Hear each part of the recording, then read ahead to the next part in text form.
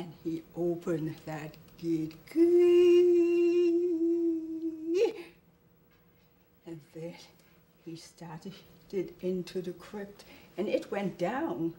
He started counting the stairs carefully as he went down. One, two, three.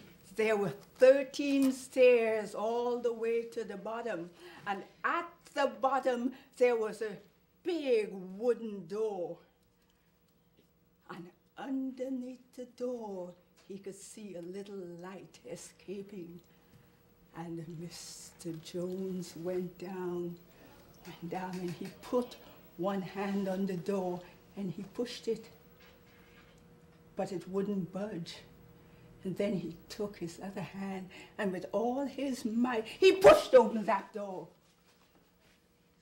The door swung open and he stood there staring into the room.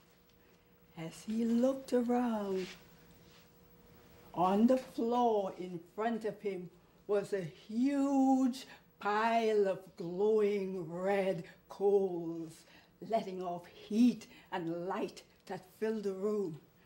And over the glowing red coals was a metal grill.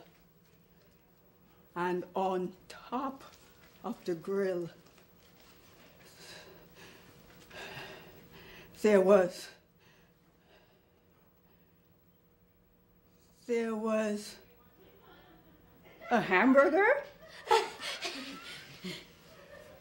and the hamburger was all done on one side.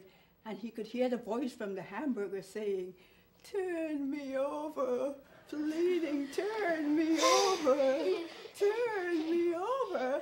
And Mr. Jones looked around and he saw a spatula. It was big, it was heavy. He had to use two hands. He grabbed that spatula and he flipped that burger.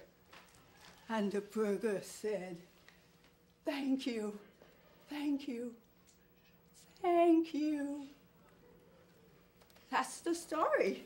Thank you.